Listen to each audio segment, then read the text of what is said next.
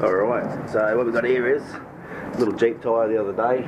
She popped off the bead and um, been having trouble trying to get it beaded up. I put some tape over it, duct tape, try and prevent any air from getting out, but I can't do it. So one side's beaded already, so what I'm going to do is try the old YouTube trick.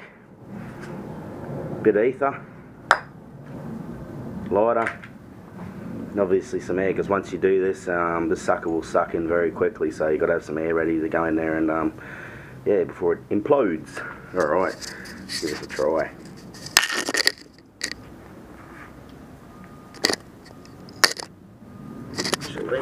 Put that there. Put the tyre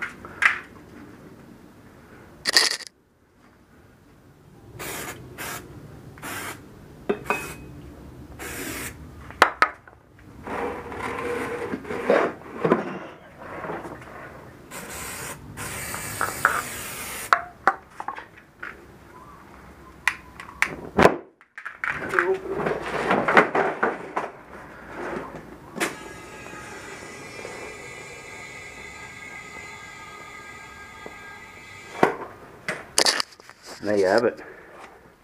Little Jeep tyre, she's beat it again. Ripper. So obviously, yeah, you're ever going to try this, be very careful. Don't use me as a reference.